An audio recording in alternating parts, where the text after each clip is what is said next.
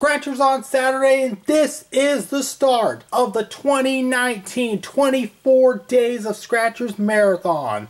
We aren't stopping until after Christmas. Alright, and we're starting with on day one with five of the $2 holiday luck here. And we want to match the numbers. Snowflake auto wins, Christmas tree doubles, horseshoe wins in the bonus, five and three we want. And we have an 8, 9, 16, that's a 19.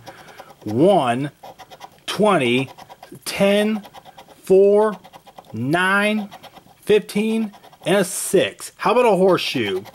No, that's lights. Lights out for that ticket. Let's go into the second chance though. Next one, 20 and 13.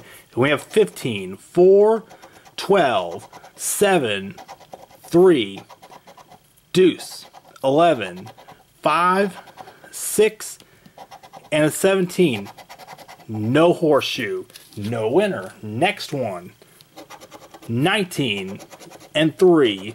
And we have a 13, 11, 20, 7, 15, 17, 14, 2, 16, and an 8. How about a horseshoe? Nope. Two tickets left here. And we want a 3 and a 13. And we have an 8, 10, 4, 17, 6, and bam! There is a snowflake. That's the first time I've seen that on any of these tickets. We have finally seen the snowflake. And we have avoided the bust in this session. No horseshoe there. What's under our snowflake? It is $2. For symbols rare as that, he thought it'd be more.